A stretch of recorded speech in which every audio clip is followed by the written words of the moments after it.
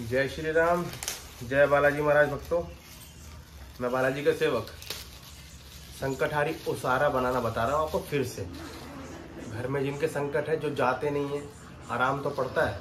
ये गेट बंद कर दो आराम तो पड़ता है, लेकिन समस्या बनी रहती है। या आप पूजा पाठ इतना ज़्यादा नहीं कर सकते आप, इतनी विधियाँ नहीं कर सकते आप, या खतरनाक संकट है, तब के लिए उसारा बना सकते हैं। ऐसे जैसे बता रहा हूँ। एक चीज़ और वो क्या? कि जिनके घर में संकट नहीं है, वो भी अगर मेहंदीपुर जा रहे हैं तो उसारा बनाकर ले आ सकते हैं। ताकि घर में सुख शांति रहे, किसी तरह कोई आधा बाधा ना रहे, घर में कीलन बना रहे बालाजी महाराज का।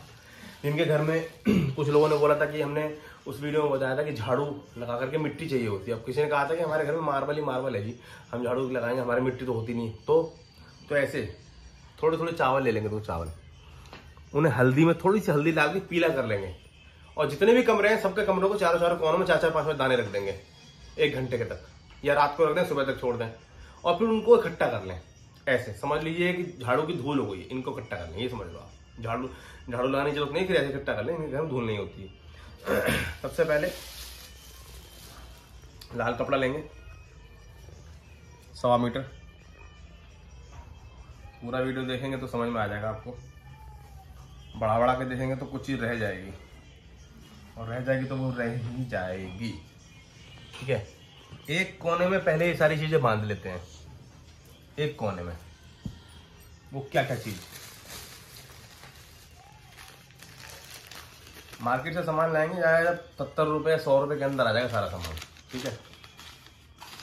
एक हल्दी की गांठ चाहिए होती है। ठीक है? एक गांठ ले लेंगे हल्दी की। उसे रख लेंगे यहाँ पे। सरसों, काली और पीली दोनों ले लें, या तो एक ही ले लें, जो आपको मिल जाए वो ले लें। वैसे पीली सरसों ज़रूरी होती है, चाहे हो तो साथ में काली सरसों भी ले लो।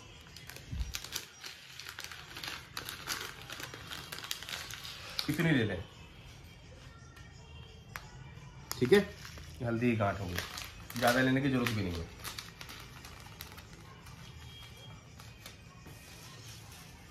पीली सरसों मैं भी अपने घर में सुख शांति के लिए ही बना रहा हूँ। वैसे तो सबको सी सही है, लेकिन घर का कीलन बना रहे। कोई कुछ घर पे गलत करे तो उसका असर ना हो। इसलिए बालाजी के लिए बना रहा हूँ, ताकि बालाजी की इसमें पहरा हमेशा लगा रहे, ठीक है? ये पीली सरसों ले लेंगे इतनी। ये सरसों समाधि वाले बाबा का पे चढ़ती है। ये समझ लीजिए आप। ठीक है? थोड़ी थोड़ी ही लेनी है। ये नहीं कि बहुत सारे, क्योंकि बहुत सारे लोग हैं तो फिर वो बांधने में दिक्कत आएगी। इसलिए थोड़ी थोड़ी ही बताइए, थोड़ी थोड़ी ही लेनी है। बाकी की आप बचा के रख सकते हैं, कोई और घर है, आप उसके लिए भी इसी में कर सकते हैं, ये जो बचा के बचा के रखी हुई या फिर फ्यूचर में बाँध के रख दें, फ्यूचर में जब कभी ले जाए तो इसी सामान को इस्तेमाल कर सकते हैं।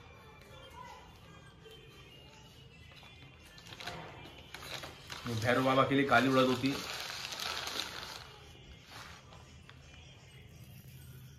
काली उड़द की दाल साबुत होनी चाहिए।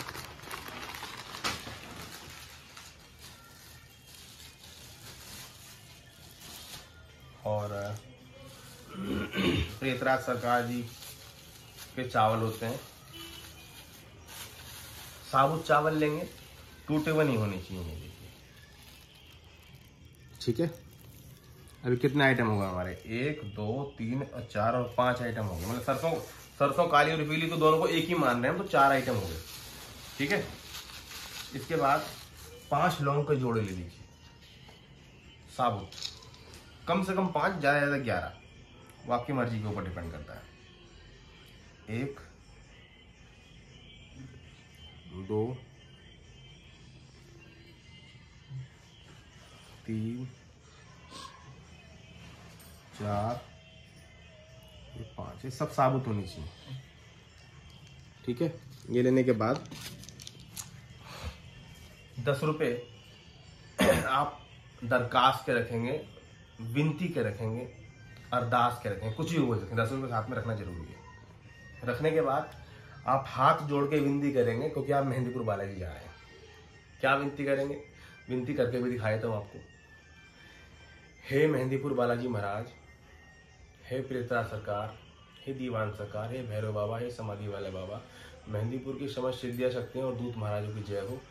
सबसे विनती करता हूँ मैं, प्रभु, हम पे कृपा करें, हमारे घर में किसी तरह की भी कोई भूत बाधा, प्रेत बाधा, तंत्र बाधा, कीलन, गलत तरीके से कोई चीज़ छोड़ी हुई हो, मलिन पित्र मलिन देवी देवता या मलिन प्रेत हो, हमें उनसे मुक्ति दिलाइए। और हमारे घर के जो भी किसी के ऊपर भी कोई तंत्र या प्रेत या बाधा, कैसी भी ब्रह्म राक्षस वगैरह, चुड़ैल, बेताल बेताल डाकनी चकनी है, उसको पकड़ करके अपने साथ मैं आपका भोग रख रहा हूँ, अपने साथ लेके चलना प्रभु। इस ओसारे के साथ लेके चलना, मैं आपका भोग रख रहा हूँ। इसमें हल्दी की गांठ है, काली सरसों, पीली सरसों, चावल है और उड़द है और लौंग है। सभी देवताओं से विनती करें, अपना अपना भोग स्वीकार करें और हमारे घर में अपने दूतों को भेजें, हमारे घर की गंदी शक्तियों को पकड़ कर कैद करने के लिए। और प्रभु, मैं इसलिए भी ये उसारा बना रहा हूँ कि मेरे घर में सुख शांति बनी रहे और मेरे घर का कीलन आप कर दीजिए, आपकी शक्तियाँ यहाँ पे आके सबका कीलन कर दें, ताकि मेरे घर पे कोई बुरी नज़र ना डाल सके, किसी तरह का कोई तंत्र करे तो उसका असर ना हो। ऐसी विनती करें, अपना नाम, एड्रेस वेड्रेस बोल करके। ये मैंने आपको बता दिया मैं कर लेता हूँ विनती ठीक है?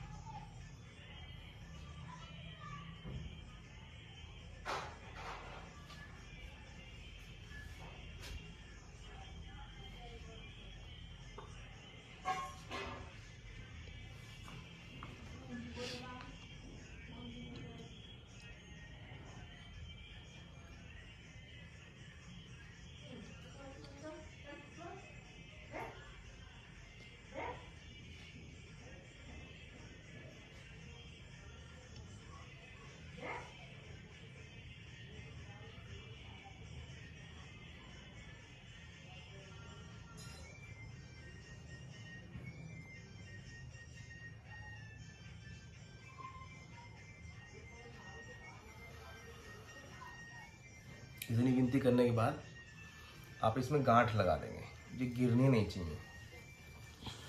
जैसे सहूलियत से आप लगा सकें, जितनी अच्छी सहूलियत से वैसे लगाएँ आप। गांठ अच्छे से लगनी चाहिए। मैं इसको फ़िलहाल ऐसे गांठ लगा देता हूँ, ताकि ये निकलना नहीं चाहिए, बिल्कुल भी।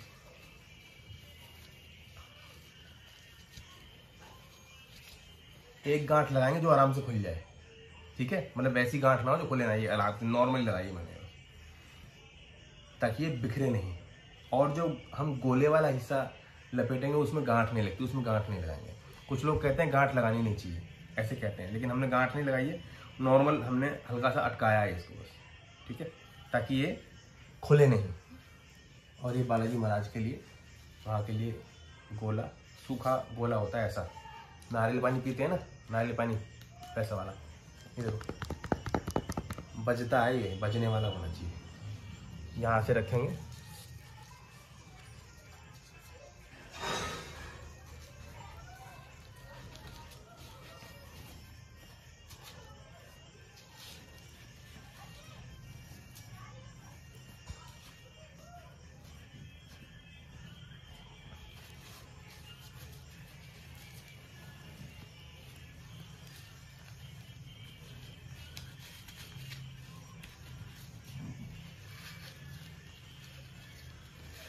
इसमें कलावा होगा वहाँ पर। हाँ?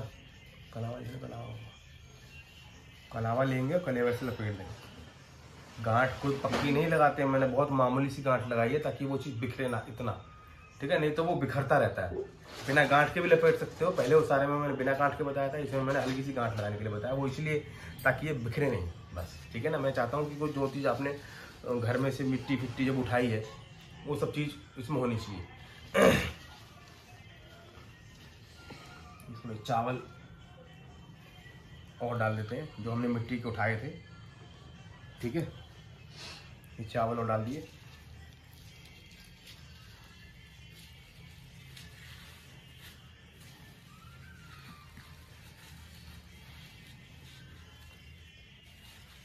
इतना करके आपको कलावे से लपेट देना है। धूल हो मिट्टी की या चावल आपने जो मैंने बताया था वैसे कर रखे हो तो उससे आपको बाँध के लपेटना है। अच्छे तरीके से। कलावा जितना ज़्यादा लपेट दें उतना अच्छा है।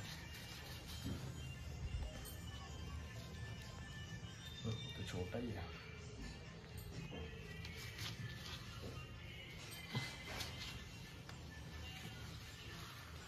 जितना ज़्यादा लपेटेंगे उतना अच्छा है।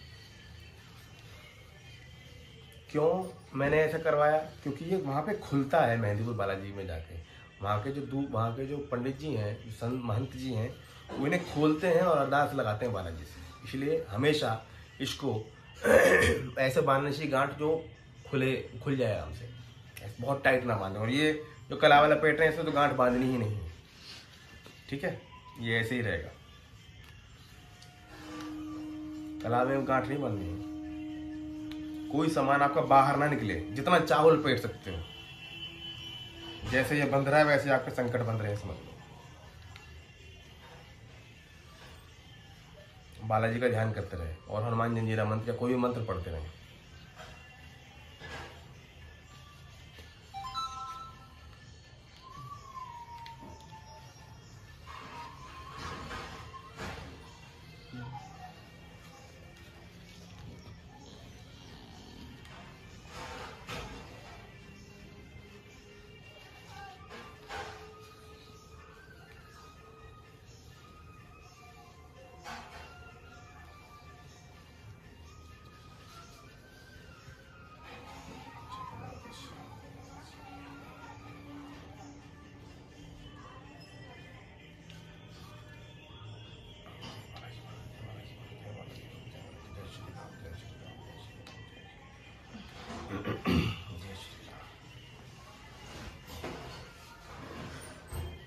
मेरा तो मानना है ये कि वो अच्छे तरीके से लपेट दो।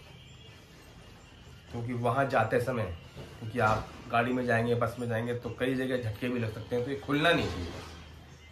समझ लो ना? बस में जाओ, गाड़ी में जाओ, ट्रेन में जाओ, कुछ लोग ट्रेन में जाते हैं तो ये खुलना नहीं चाहिए। गांठ नहीं बाँध रहा हूँ देखो मैं ऐसे ही लपेट रहा हूँ। बस, ये तैयार हो गया। ठीक है? मैंने क्या क्या सामान इसमें डाला, सब कुछ वीडियो में है ही है, वो आप देख लेंगे।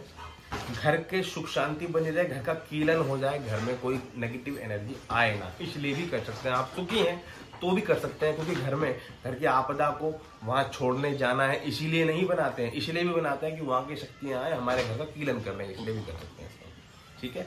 अब इसे दोनों हाथ में लेकर हनुमान जी, बालाजी महाराज से आपके घर में जो मंदिर है, उसमें विनती करेंगे। और विनती करके इसे जाते समय पूरे घर में घुमाएँगे जहाँ जहाँ चावल रखे थे। और जितने भी सदस्य होंगे, सबके ऊपर से उतार के ले जाएँगे। कम से कम सात बार या ग्यारह बार।